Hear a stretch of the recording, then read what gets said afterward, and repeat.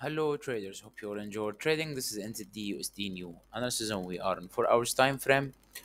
NZD USD at a very important previous support.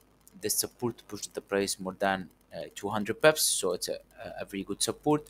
The price touched it and 30, uh, 30 minutes time frame give us this bullish price action. One hour uh, time frame also this pin bar.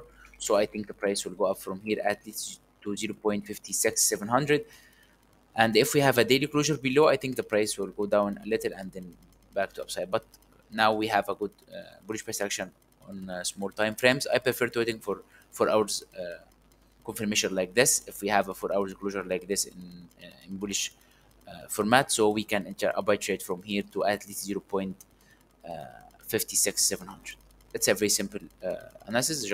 You can enter right now or just or just waiting for four hours closure to confirm your entry and best of luck. Hope you all benefit from this analysis. Trade safe and have a nice